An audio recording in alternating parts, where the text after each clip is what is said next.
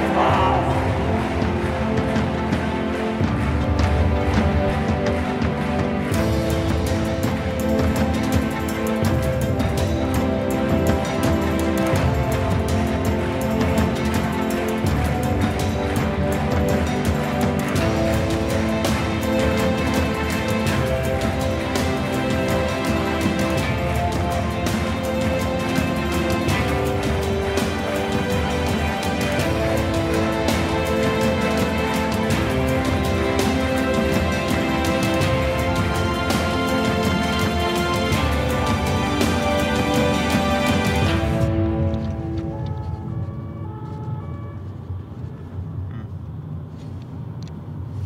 Les hommes de génie sont des météores destinés à brûler pour éclairer leur siècle.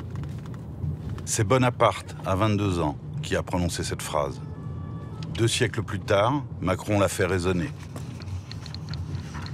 Sa trajectoire fulgurante l'a fait passer en trois ans du quasi-anonymat à la présidence de la République. Et pourtant, personne ne le connaît vraiment. Le politique s'est exprimé, progressiste, social et libéral en même temps, mais l'homme reste une énigme. Derrière le storytelling officiel, quelle est la véritable personnalité de celui qui va diriger la France? Enquête sur un météore devenu président.